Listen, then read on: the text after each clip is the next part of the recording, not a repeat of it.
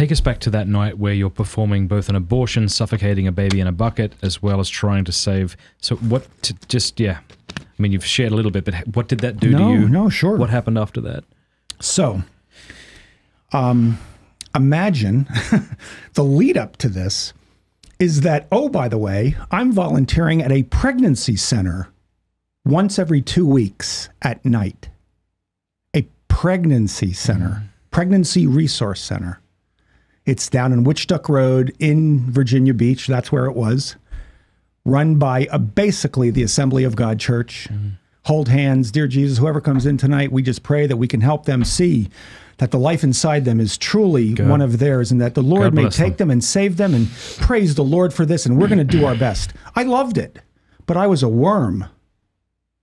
I didn't tell them that I, yes, I told them I was an OBGYN. They were thrilled.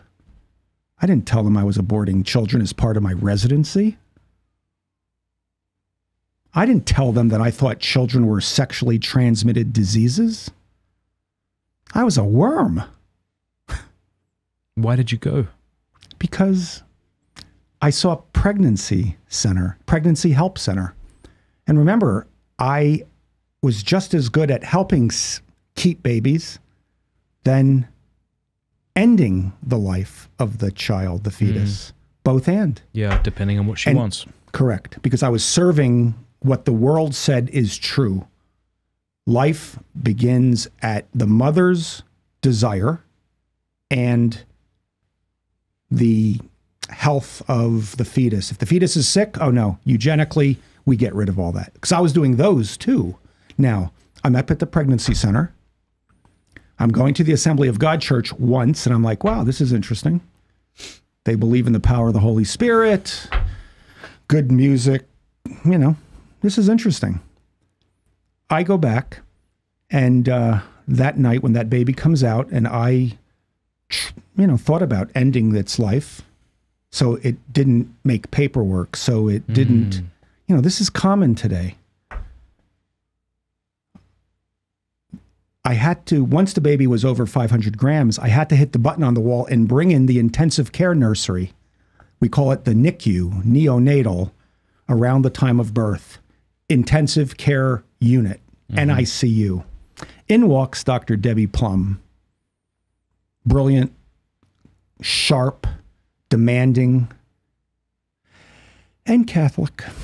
She comes in and goes, she quickly assesses and goes, she knew what I did. Hey, stop treating my patients as tumors. The witness statement middle of the night, stop treating my patients as tumors. And oh, by the way, have coffee with me tomorrow. And then she went and took care of the child, intubated, meaning This is the one you were trying to suffocate or Yeah. began to. Yeah. yeah, this okay. is this is this is the aborted. This is the failed abortion. Okay. The child who survived my attempt at ending the pregnancy and Yeah. ending its life. okay. All right. They come in, they call their people, they bring the little incubator in. The intubation occurs. All the people are working on this little child. 505 grams, 450 grams is a pound, pound and two ounces maybe. Translucent skin, no hair, moving its arms, trying to squeak.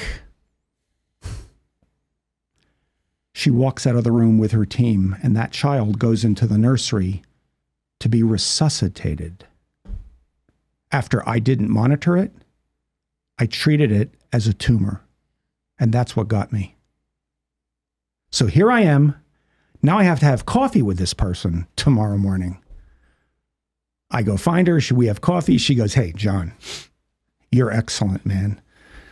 In your clinic, you make house calls. In your clinic, they wait in line for you. In your clinic, you listen to your patients. In your clinic, and we hear it. We hear about we hear about this what the hell are you doing? What why did you induce that woman? She didn't want it. John. So your definition of life is based on someone else? Hasn't history shown us that that's like not a real healthy thing to do? oh, by the way, I know I'm Catholic and I think you used to be. I know you didn't talk about it much, but um, you need to go to Medjugorje. I just got back with Steubenville University, and uh, it changed my life, and it really made a difference in my life. You need to go. Ah, I'm not sure I do that anymore, uh, Debbie, uh, but I'll take it. Now, in reality, I'm fracturing. They tell me that abortion is safe. And yet, the data is coming in abortion and breast cancer, abortion and preterm birth, abortion and mental illness, abortion and damaged cervixes. The data is coming in. Uh, no, but I thought it was safe. Hey, thank you so much for watching. Before you go, do us a favor, leave a comment, let us know what you thought of the video, like, and subscribe.